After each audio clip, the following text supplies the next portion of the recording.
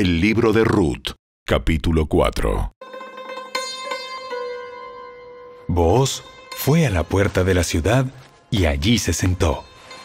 En ese momento pasó por ese lugar el redentor de la familia que Booz había mencionado. Así que lo llamó. Amigo, ven, siéntate aquí. Quiero hablar contigo. Así que se sentaron juntos. Enseguida, Booz llamó a diez líderes del pueblo y les pidió que se sentaran allí como testigos.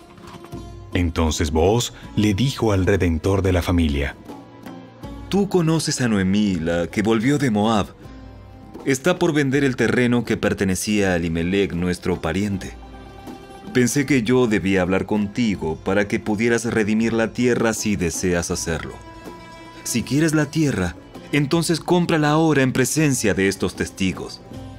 Pero si no quieres la tierra, házmelo saber ahora mismo, porque después de ti, soy el pariente más cercano para redimirla. El hombre respondió, Muy bien, yo la redimo. Por supuesto, al comprar tú la tierra de Noemí, estás obligado a casarte con Ruth, la viuda moabita.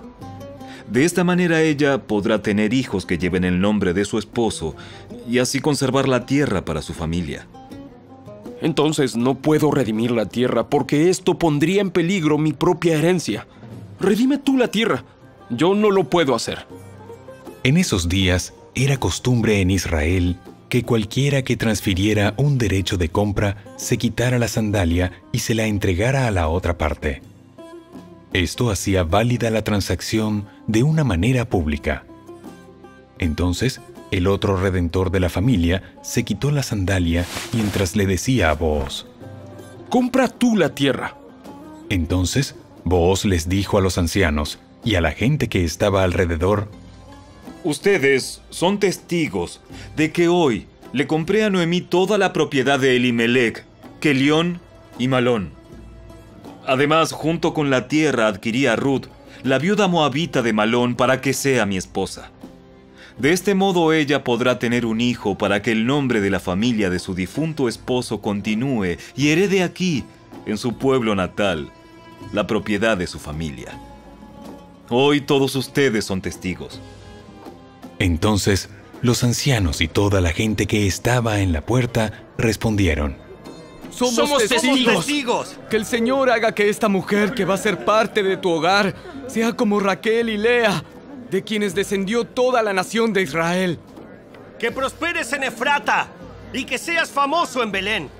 Y que el Señor te dé descendientes por medio de esta joven, que sean como los de nuestro antepasado Fares, el hijo de Tamar y Judá. Así que Booz llevó a Ruth a su casa y la hizo su esposa. Cuando se acostó con ella, el Señor permitió que quedara embarazada y diera a luz un hijo.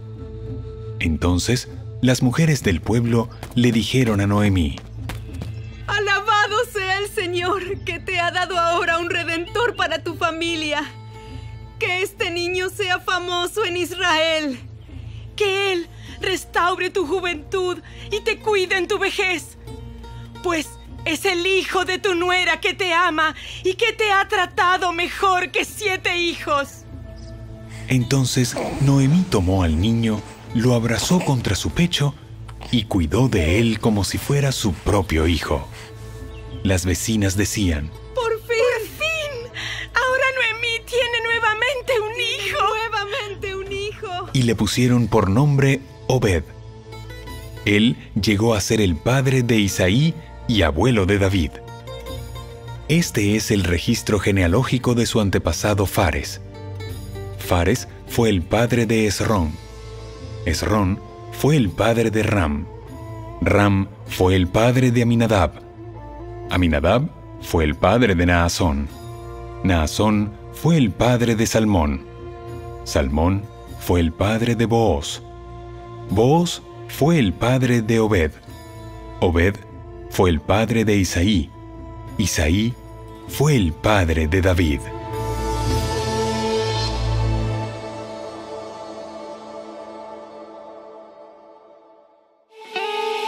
Si te gustó este video, dale me gusta, suscríbete a nuestro canal y asegúrate de activar la campanita de notificaciones para que siempre estés al día con nuestros nuevos recursos. Recuerda seguirnos también en nuestras redes sociales. Descarga ahora mismo la app y escucha la audio Biblia dramatizada en tu celular. Busca lectura pública de la Biblia en la tienda de tu dispositivo o vea la descripción de este video donde también encontrarás los links de descarga. Para ver el siguiente video, toca el recuadro que aparece en tu pantalla. ¡Hasta pronto!